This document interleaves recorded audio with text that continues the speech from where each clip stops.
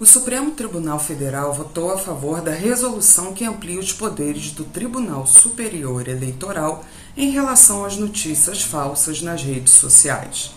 De acordo com a medida, o TSE pode derrubar conteúdos e perfis que repliquem informações já julgadas falsas pela Justiça Eleitoral, além de reduzir para duas horas o tempo de cumprimento das normas para as plataformas.